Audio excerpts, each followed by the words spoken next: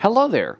Are you using Samsung Tab A8 and you see your favorite Samsung Tab has stopped charging all of a sudden?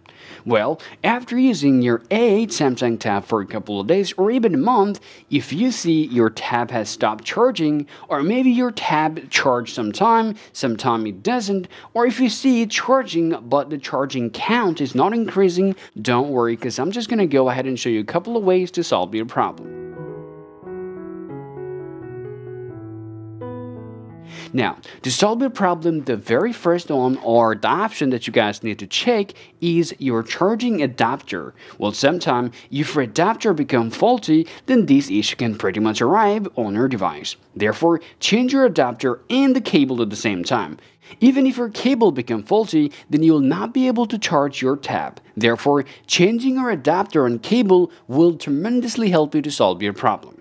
Well, let's say you try to change your adapter and the cable, but the problem is still you cannot see that your charge is happening on your tab. Now, in that case, the next things you have to do a little workaround for your charging port. Now, if there's a dust particle happen to get stuck inside of your charging port, then this problem can happen. Therefore, you can grab a brush or you can grab something like that and then just start cleaning out your charging port and after that check whether your problem is solved or not. Well, even after that, if you still see it's not charging, then the next work you have to do, just go ahead and charge your device just like that and now press that volume down button and press that power button simultaneously unless you see your device rebooted once again and after that, check your problem is solved or not. Well, even after that, if you still see it's not charging, the next thing that we recommend you to do, you can try to charge your A8 tab for overnight to see if that works or not.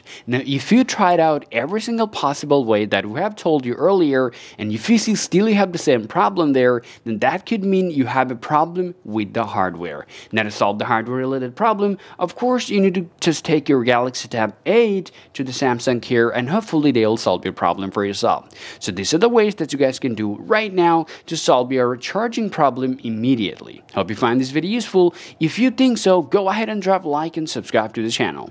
Thank you for watching, and we will talk to you guys another time.